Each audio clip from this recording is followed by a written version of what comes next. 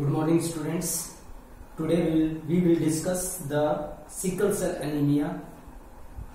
जो टॉपिक हम स्टडी कर रहे थे उसी को आगे प्रोसीड करेंगे सिकल सेल एनीमिया में हमने काफ़ी सारे पॉइंट्स डिस्कस किए थे लेकिन हीमोफीलिया जो डिज़ीज़ हमने डिस्कस किया था उससे रिलेटेड कुछ डाउट्स हैं जो एक क्रोज लास्ट में मैंने कैरी आउट कराया था आपको उसमें कुछ डाउट आ रहे हैं तो पहले उसको डिस्कस कर लेते हैं कि उसमें एक्चुअल में मैंने क्या बताया था वहाँ पे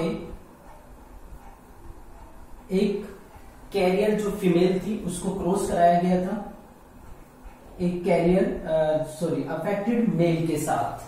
तो हम देखते हैं कि जो कैरियर फीमेल होती है, उसके अंदर दो तरह के गैमेट्स बनते हैं। एक में जो हीमोफिलिक कैरेक्टर है ट्रेट है, उसके लिए जीन प्रेजेंट होता है एक एक्स क्रोमोसोम के ऊपर, जबकि दूसरे क्रोमोसोम पे नहीं होता है। इधर जो स्पम्स बनते हैं, उसमें एक एक्स कैरिंग स्पम बनता है, एक वाई कैरिंग स्पम बनता है। इसमें हमारे पास पॉसिबल जीनोटाइप क्या आ सकती है? एक्स सी ये वाले जो गैमेट्स है, उसको टॉप में लिख लेते हैं फीमेल वाले जो गैमेट है, उसको हम लेफ़्ट साइड में रिप्रेजेंट कर लेते हैं। अब जब इनको क्रॉस कराते हैं तो ये वाला जो एग है, इस वाले स्पम के साथ फ्यूज कर सकता है।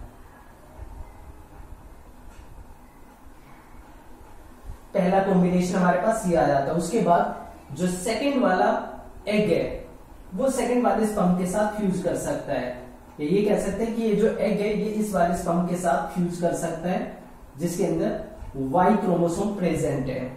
ये वाला जो एक्स कैरिंग एग है, जिसके ऊपर कोई हीमोफिलिक जीन नहीं है, वो इस वाले स्पम के साथ फ्यूज कर सकता है। ये वाला एग इस वाई वाले स्पम के साथ भी फ्यूज कर सकता है। ये हमारे पास टोटल कॉम्बिनेशन आए थे जो जिनको हम जीनोटाइप्स बोलते हैं। मैंने आपको बताया था कि इसमें टोटल फोर जैसे अगर हम यहाँ पे मान के चलते हैं तो फोर में से टू हीमोफिलिक है। यानी कि इन चारों में से अगर इनको हम हंड्रेड परसेंट मानते हैं तो फिफ्टी परसेंट इसके अंदर हीमोफिलिक है। मैं यहाँ पे गर्ल्स और बॉयज़ की बात नहीं कर रहा हूँ, मैं सिर्फ़ ये बता रहा हूँ कि जितनी भी प्रोजेनी ऑप्टेन हुई है, उस पूरी प्रोजेनी में से 50 परसेंट हीमोफिलिक है। ये 50 परसेंट अब बच गए लास्ट के 50 परसेंट यानी कि जो 50 परसेंट है, वो है नॉन हीमोफिलिक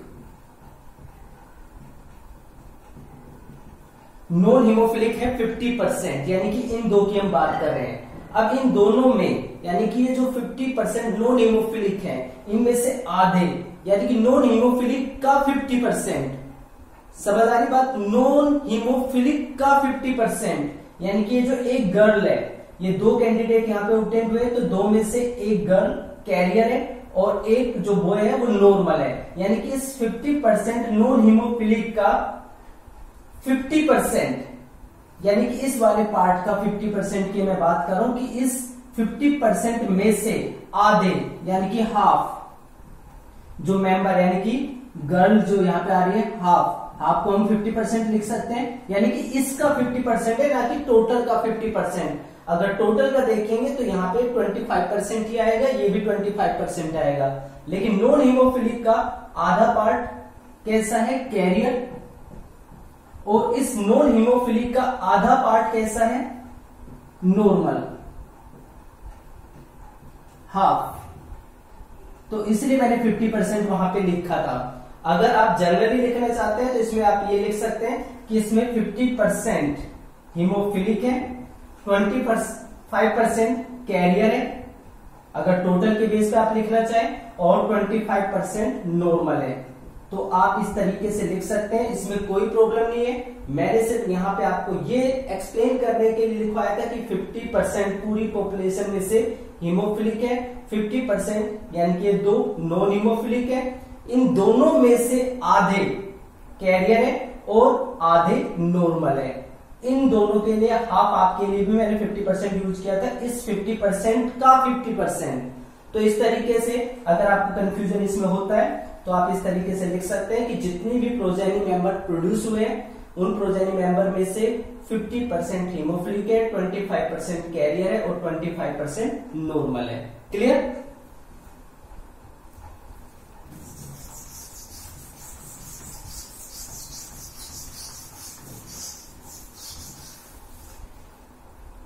लास्ट लेक्चर जो हम डिस्कस कर रहे थे वो था सिकल सेल एनीमिया पे। सिकल सेल एनीमिया में हमने स्टडी किया था कि सिकल सेल एनीमिया एक जीन जो कि क्रोमोसोम नंबर 11 के ऊपर प्रेजेंट होता है, उसके अंदर एक पॉइंट म्यूटेशन की वजह से डिज़ीज़ होता है। पॉइंट म्यूटेशन का मतलब क्या होता है? जहाँ पे एक सिंगल बेस पेयर का सब्सटीट्यूशन हो जाता है। मींस जैसे वहाँ पे हम रीड कर रहे थे कि वहाँ पे जी ए जी एक सीक्वेंस होता है। वो जी ए जी सीक्वेंस जी यू जी यानी कि ए की जगह पे यू आ जाता है। इतना सा चेंज आता है और जो एमिनो एसिड है वो बदल जाता है उस कोडोन की वजह से। तो जब एक सिंगल बेस पेयर के सब्सटीट्यूशन की वजह से कोई चेंज आता है, कोई म्यूटेशन होती है, कोई डिसऑर्डर आता है तो उसको पॉइंट म्यूटेशन बोलते हैं। उस म्यूटेशन को और उसका डिसऑर्डर का एग्जांपल सिकल सेल एनीमिया है। एक और चीज़ जो बार बार डाउट आता है, हमारे अंदर ह्यूमन बींग के अंदर 23 के दो सेट होते हैं क्रोमोसोम के। अब जैसे मान लो 11 नंबर क्रोमोसोम है। 11 नंबर क्रोमोसोम की दो कॉपी है। एक कॉपी जो फादर से आई थी और एक कॉपी जो मदर से आई थी। दो कॉपी प्रेजेंट है। अब अगर मान लो सिकल सेल एनीमिया वाले जीन की मैं बात करूँ फादर से जो जीन आया था, वो यहाँ पे प्रेजेंट है। मदर से जो जीन आया था, वो भी यहाँ पे प्रेजेंट है। दो कॉपी प्रेजेंट है, लेकिन इसका मतलब ये नहीं कि बाकी क्रोमोसोम के पार्ट पे कोई जीन नहीं है। एक क्रोमोसोम के ऊपर बहुत सारे कैरेक्टर को कंट्रोल करने वाले जीन होते हैं। जैसे एक रफ एस्टिमेट ये होता है कि 25,000 से लेके 30,000 जीन्स हमारी बॉडी के अंदर या हमारे डीएनए के अंदर प्रेजेंट होते हैं। और हर जीन कोई ना कोई कैरेक्टर को कंट्रोल करता है कुछ जीन्स मिलके एक कैरेक्टर को कंट्रोल करते हैं। हमारे बहुत सारे कैरेक्टर्स हैं और इतने सारे कैरेक्टर्स को कंट्रोल करने के लिए अलग अलग जीन का प्रेजेंट होना ज़रूरी है। इसलिए कोई भी क्रोमोसोम है, उसके ऊपर सिर्फ़ एक जीन प्रेजेंट नहीं होता, बहुत सारे जीन प्रेजेंट होते हैं अलग अलग कैरेक्टर के लिए प्रेजेंट हो सकते हैं। तो यहाँ पे जो इलेवन नंबर क्रोमोसोम है, उसके ऊपर ये जो सिकल सेल एनीमिया वाला जीन है, वो प्रेजेंट होता है।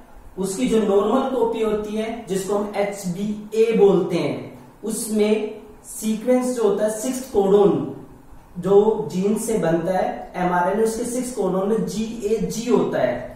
लेकिन अगर वो जी ए जी जी यू जी में चेंज हो जाता है तो वो बन जाता है एच बी एस यानी कि जो वाइल्ड या नॉर्मल अलील था, वो था एच बी ए और उसमें चेंज होने से बना है एच बी एस तो ये जो एच बी एस है, जब ये अपने आप को एक्सप्रेस करता है जीन तो इससे बनने वाली जो बीटा ग्लोबिन चेन होती है, वो अफेक्ट हो जाती है और जिससे सारे हीमोग्लोबिन आपस में ज्वाइन कर जाते हैं पोलिमराइज कर जाते हैं और स्टिफ स्ट्रक्चर बन जाता है। स्टिफ का मतलब जिसमें फ्लेक्सिबिलिटी नहीं होती, जिसकी वजह से आर्मी चीज़ की जो शेप है, वो सिकल लाइक हो जाती है, दराती जैसी हो जाती है। तो ये जो कॉन्सेप्ट थी, ये हम स्टडी कर चुके थे। अब यहाँ पे दो तीन चीज़ें काफ़ी इंपॉर्टेंट है, वो मैं डिस्कस करना चाहूँगा आपके साथ।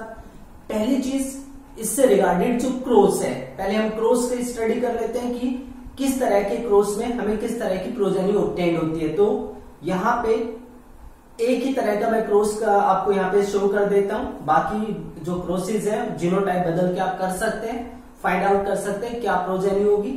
तो सबसे पहले मान लेते हैं हमारे पास एक विमेन और वुमेन कैरियर है। जो मैन है, वो भी कैरियर है।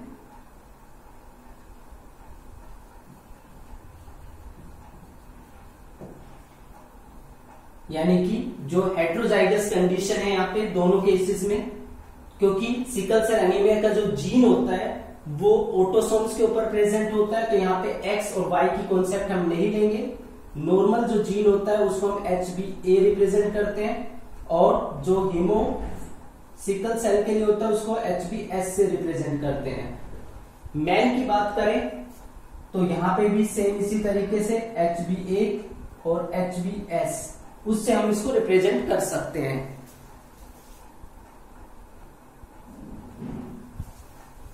तो यहाँ पे जो वुमेन कैरियर है और मैन कैरियर यानी कि हेट्रोजाइगस फॉर्म है, उसकी जीनोटाइप को हम इस तरीके से रिप्रेजेंट कर सकते हैं। यहाँ पे जो गैमेट बनेंगे एच बी ए एक गैमेट बन जाएगा एच बी एस दूसरा गैमेट हो जाएगा। एच बी ए एक गैमेट के अंदर आ जाएगा एच बी एस दूसरे गैमेट में। अब देखते हैं कि possible combination Punnett square chart के अंदर। यहाँ पे जो मैन की गैमेट्स हैं स्पम्स हैं, उसको हम यहाँ पे रिप्रेजेंट कर लेते हैं।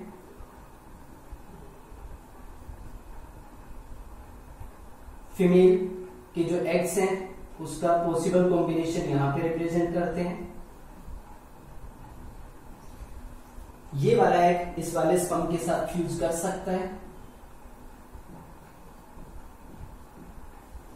ये वाला जो एग है, इस वाले स्पम के साथ फ्यूज कर सकता है।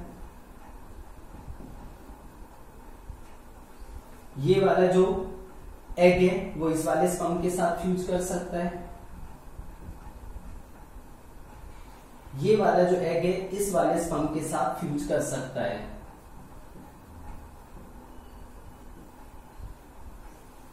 सॉरी एच बी एस ये हमारे पास पॉसिबल जीनोटाइप्स हैं।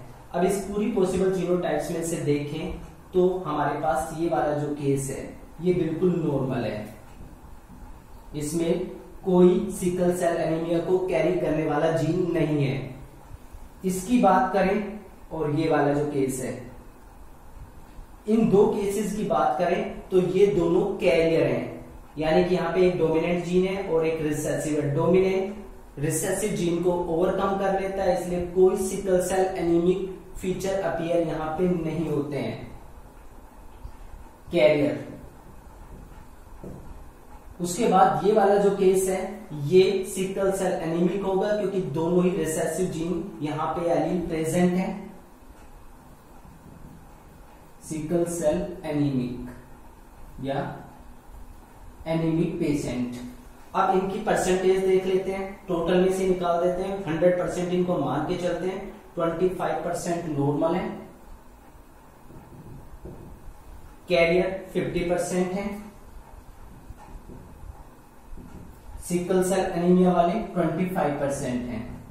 तो ये हमारे पास जीनोटाइप आते हैं और इसके बेस पे ये फिनोटाइप है, यानी कि जो भी जीनोटाइप आती है, उसमें से 25 परसेंट नॉर्मल है 50 परसेंट कैरियर है और 25 परसेंट सिकल सेल एनीमिक होते हैं। अब, ये तो हमारे पास जीनोटिपिक रेशियो आ गया है, जो भी आ गया है। अब इसके बेस पे कुछ पॉइंट्स हम डिस्कस कर लेते हैं, जो नॉर्मल है, उसकी तो कोई प्रॉब्लम ही नहीं है, क्योंकि वहाँ पे तो normal gene present allele present है नॉर्मल हीमोग्लोबिन चेन बनती है, यानी कि बीटा चेन नॉर्मल बनती है हीमोग्लोबिन भी नॉर्मल होता है, कोई प्रॉब्लम ही नहीं आती है। सिकल सेल एनीमिक में दोनों ही रिसेसिव है। मींस जो बीटा ग्लोबिन चेन है, वो अब नॉर्मल बनती है। और जब बीटा ग्लोबिन चेन अब नॉर्मल बनती है तो हीमोग्लोबिन अब नॉर्मल हो जाता है। और ऐसे जो कैंडिडेट्स होते हैं इंडिविजुअल्स होते हैं, वो एट द बर्थ टाइम या that is early in the age ही उनकी डेथ हो जाती है। तो जो सिकल सेल एनीमिक होते हैं sickle cell anemic individuals die in early age early age के अंदर ही उनकी डेथ हो जाती है। क्यों हो जाती है? क्योंकि सारा जो हीमोग्लोबिन है वो तो पोलिमराइज हो जाता है। अब पोलिमराइज होने से आरबीजी की जो शेप है वो बदल जाती है। ऑक्सीजन का जो ट्रांसपोर्टेशन वो ब्लॉक हो जाता है और बिना ऑक्सीजन के ट्रांसपोर्ट के बॉडी के जो टिश्यू सर्वाइव नहीं कर पाते हैं। तो अर्ली एज में ही इतनी ज़्यादा डिसऑर्डर यहाँ पे प्रोड्यूस हो जाता है कि उसकी डेथ हो जाती है। करियर की बात करते हैं। कैरियर में क्या कोई प्रॉब्लम होती है? ये बिल्कुल नॉर्मल की तरह होता है। कैरियर कैरियर जनरली बिल्कुल नॉर्मल पर्सन की तरह होता है। It appears it appears like normal person ये बिल्कुल नॉर्मल पर्सन की तरह होता है। प्रॉब्लम कब अराइज होती है? वो प्रॉब्लम तब अराइज होती है जब ऑक्सीजन की डेफिशिएंसी हो जाती है। यानी कि ऑक्सीजन टेंशन में जो इसके अबनॉर्मल हीमोग्लोबिन है, वो क्लम्प हो जाते हैं तो वहाँ पे थोड़ी प्रॉब्लम आती है। अदरवाइज़ ये बिल्कुल नॉर्मल इंडिविजुअल की तरह बिहेव करते हैं। Problem arise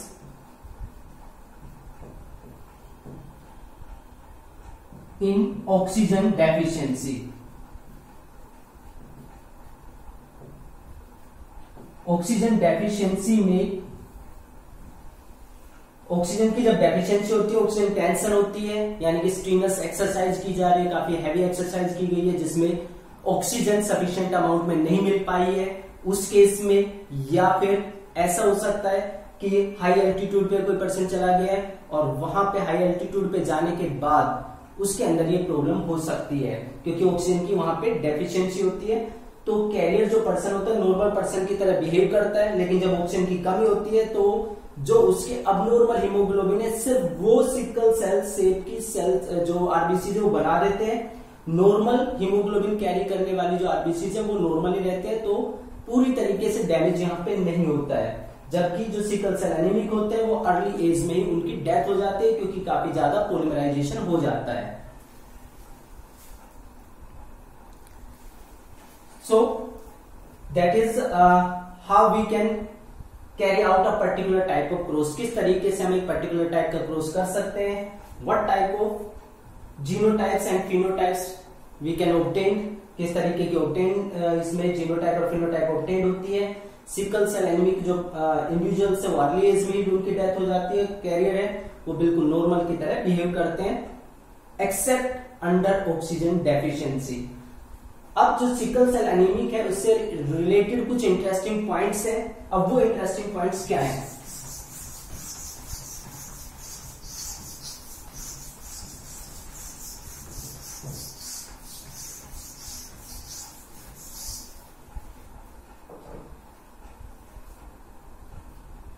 first interesting point इसका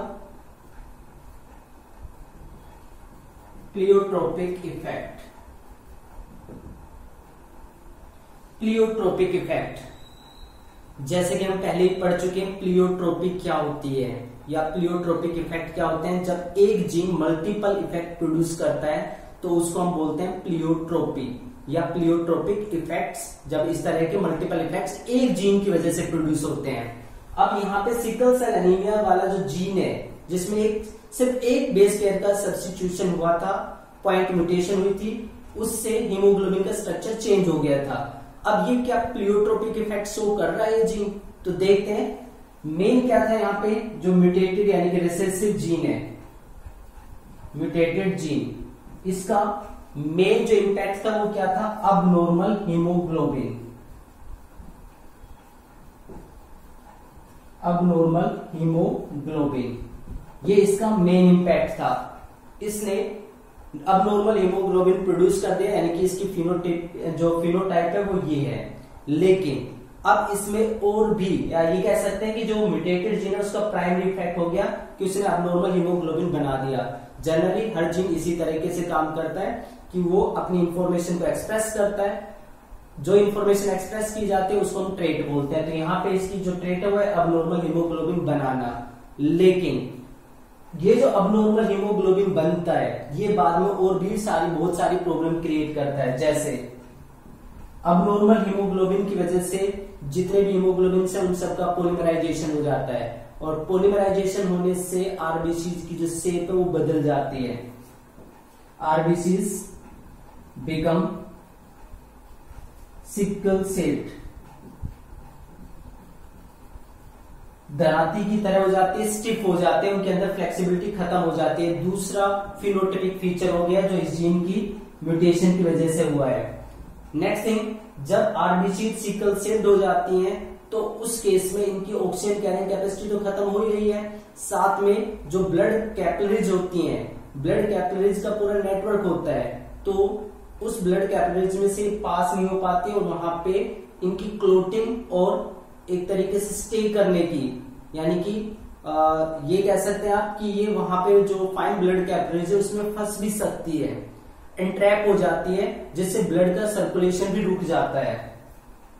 That leads to tendency of clot and damage the blood capillaries